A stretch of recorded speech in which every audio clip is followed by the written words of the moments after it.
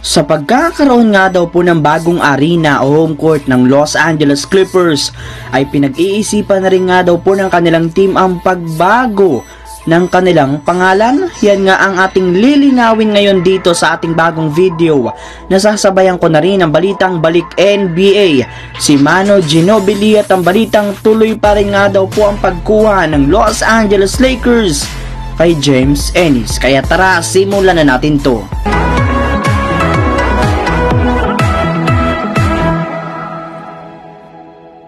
Simula pa lang nga po nang mabili ni Steve Ballmer ang prangkisa ng Clippers ay pinag-iisipan na nga po nito na baguhin ang pangalan ng kanilang team. Mas lalo rin nga pong nadagdagan ang kanyang rason para gawin ito mula ng opisyal nilang ipakita sa publiko ang kanilang magiging bagong sariling arena na magbubukas na sa darating na 2024 to 2025 NBA season. Ngunit inamin nga po nito sa harapan ng Los Angeles Times na hindi niya babaguhin ang pangalan ng kanilang prangkisa dahil nakatatak na nga daw po dito ang kanilang history at fan base. Ayon nga po sa kanya, noong una nga daw po niyang nahawakan ng kanilang team ay di nga po niya nagustuhan ang pangalan nito dahil hindi nga po ito ganoon kagandahan. Pero iyan rin naman nga daw po ang mismong dahilan bakit nananatili at tinatangkilik pa rin sila hanggang sa ngayon ng kanilang mga fans. Marami nga po silang mga napagdaan ng hirap gamit ang kanilang sariling pangalan at hindi nga daw po matutuwa ang kanilang mga fans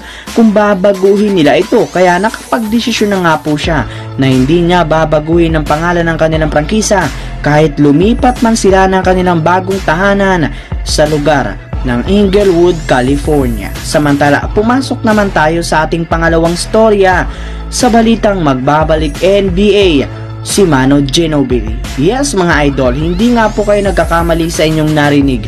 Magbabalik na nga po itong muli sa kanyang dating team na San Antonio Spurs ngunit hindi bilang isang player kundi bilang isang special advisor ng kanilang basketball operation. Ayon nga po sa inilabas na balita ni Adrian Wojnarowski ng ESPN, tinanggap na nga po nito ang kanyang bagong trabaho sa San Antonio Spurs bilang kanilang special advisor. Lilinawin ko ng mga idol, hindi nga siya isang coach, kagayang na, ng naging trabaho ni Tim Duncan sa Spurs mula nang maging parte ito ng coaching staff ni Coach Greg Popovich. Ngunit magtatrabaho pa rin nga po siya kasama ang kanilang mga manlalaro upang sa ganon ay matulungan niya ang mga ito sa loob at labas man ng court. Kung inyo nga po matatandaan, Naging makulay nga po ang naging karera ni Manny Ginobili sa NBA simula pong pumasok siya dito taong 1999 bilang ika-57 overall pick. Bali, pinangunahan lang nga po niya ang San Antonio Spurs